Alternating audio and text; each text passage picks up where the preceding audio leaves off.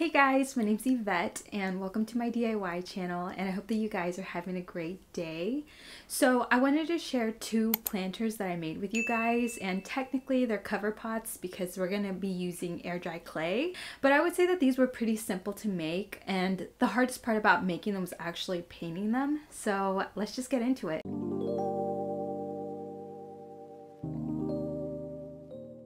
Since we're going to be working with air dry clay, you're going to want to use a container like this because if you don't and you put your plant inside of the planter and then you water it, your clay will crumble because you can't get air dry clay wet. So make sure you have a container like this. It can be made out of glass, plastic, or metal, and this is just an old Bath & Body Works candle jar. And then for our clay, we're going to be using DAS air dry clay because this clay will not crack once it dries up against the glass. Alright, so take a big chunk of clay and roll it out.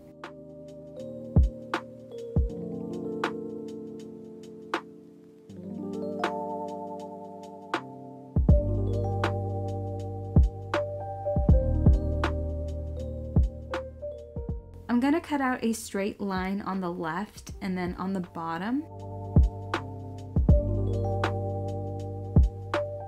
And then right here, I'm just checking to make sure that there's enough clay to cover the container vertically.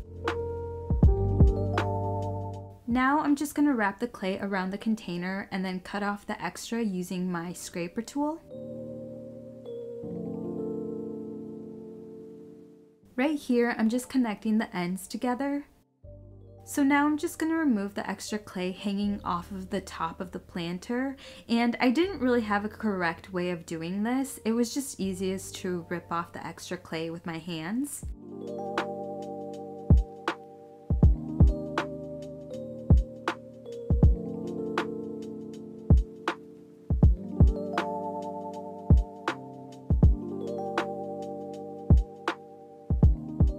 I'm going in with my needle tool just to clean up the top a little bit.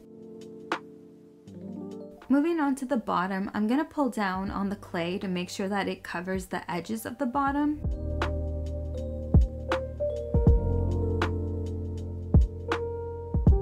And now using my loop tool, I'm just going to take off some of that extra clay that I have around some of the edge. And then I'm just going to finish fixing this with my fingers. With my sponge, I'm to smooth out the clay everywhere to try to get this as smooth as possible. And then I'm just to go back and forth using my sponge and my fingers.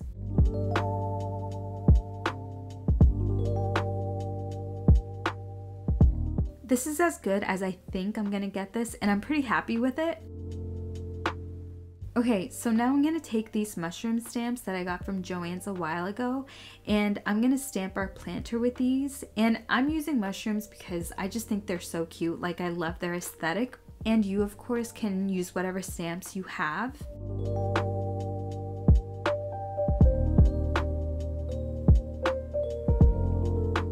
And there we go, we have our first stamp.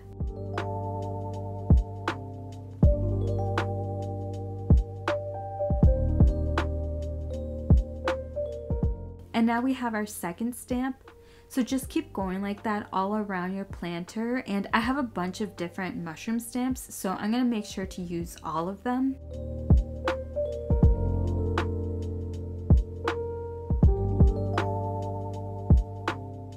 Now that I'm done, I'm gonna let this dry for two days. The following Thursday. Alright guys, so this is how our planter is looking like after it's dried. And now I'm gonna paint in the little mushroom outlines. So for this, I'm using a very fine line brush. And to be honest, this was the hardest part about making this planter. You just have to have some patience and this doesn't have to be perfect. So just try your best and it'll all work out.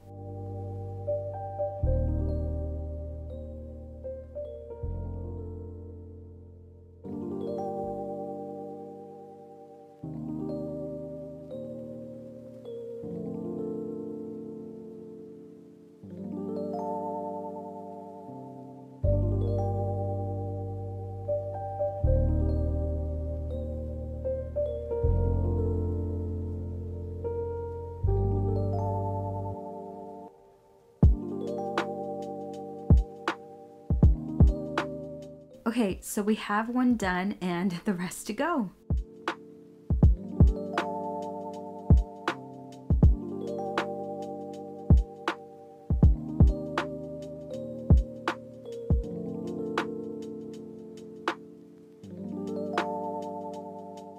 Now that they're all painted in, I'm going to seal this planter with some matte Mod Podge and then we're done.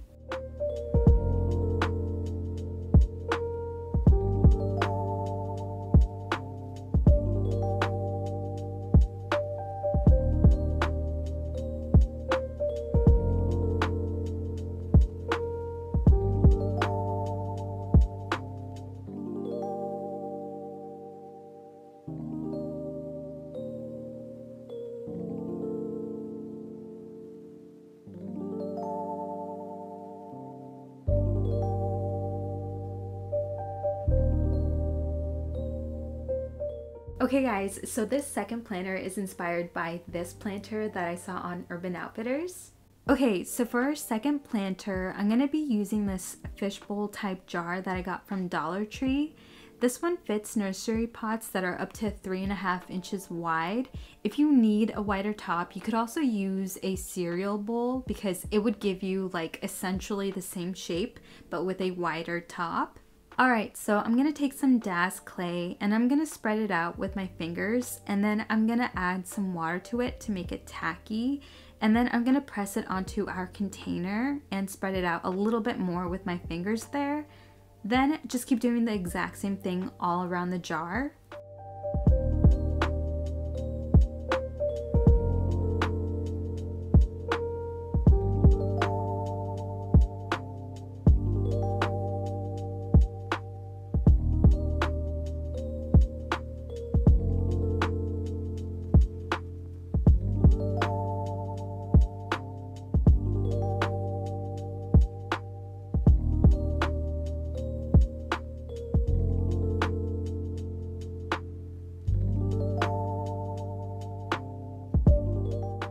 I ran out of my white DAS clay and had to start using some of my terracotta DAS clay, which is the only reason I have two colors on there. Now that my jar is all covered up everywhere, I'm going to turn it to the bottom and using my loop tool, I'm just going to take off that extra clay down there. You can cover the bottoms of your planters if you want, but I never like to, so that's why I take mine off.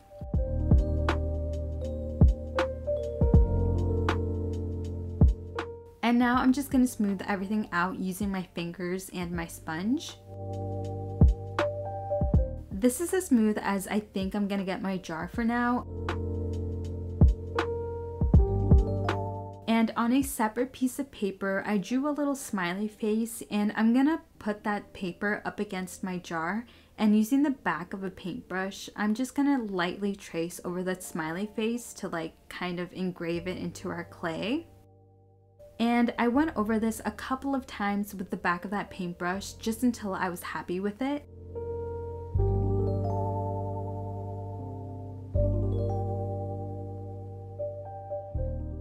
Going back to my stamps, I'm going to use this snail stamp here and I'm going to press this all around our planter.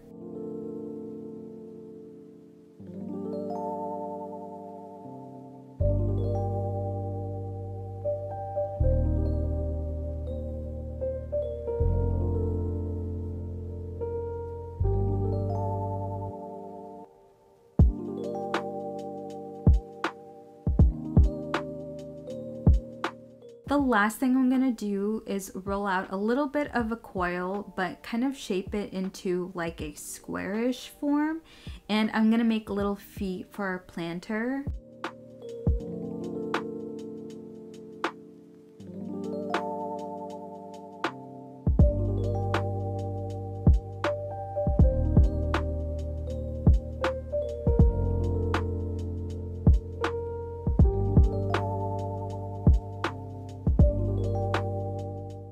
Next, I'm going to stick my feet onto my planter, and this is basically what I did, and they stuck on, but if I were to go back, I would have used some slip to make them stick on better, because you guys will see what happens in a little bit. But for now, I'm going to let this dry for a couple of days.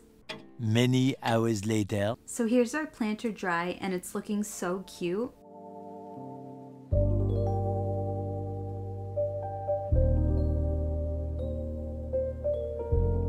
I do want to make this a little bit smoother, so I'm going to sand my planter. And I was being a little rougher than I should have with this, and I accidentally knocked off one of its little legs. And then you can see that the clay was actually still kind of like wet. It wasn't fully dried. I probably should have waited a little bit longer, but oh well. So to fix this, I'm to take some wood glue and I'm to put the wood glue on the planter and also on the little leg. And then I'm just gonna stick them together and yeah it stayed and worked out perfectly fine.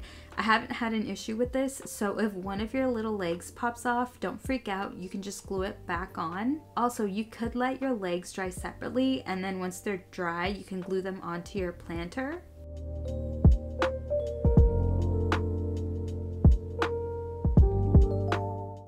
on, we can finally paint, and I'm gonna paint mine a light cream.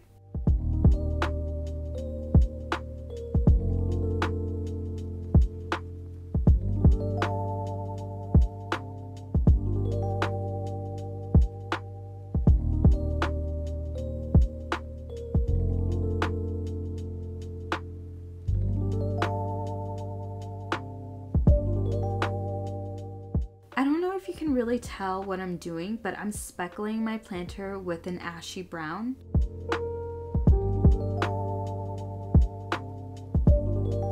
And now I'm to paint in its little face.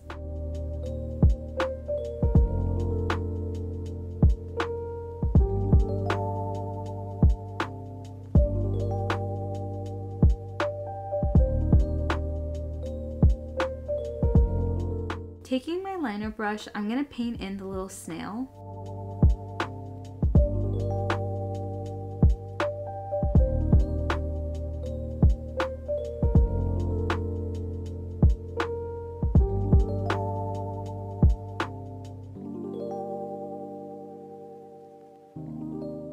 So this is how my planter is looking like after all the little snails are painted in and it looks so adorable.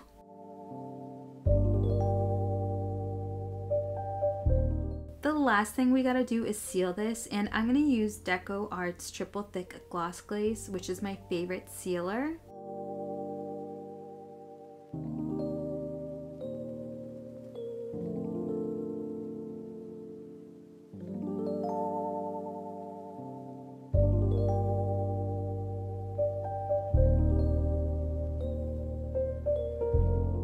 And then we're done guys, and this is my favorite planner I think I've made so far. It's so cute.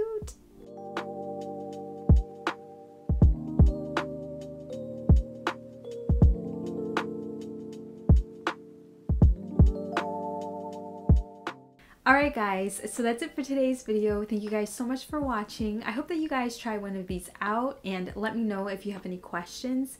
And I do have another video where I make planters on my channel, so I'll link that for you guys if you want to check it out. And subscribe for more DIYs and stay safe, stay healthy, and I'll see you guys in my next video. Bye!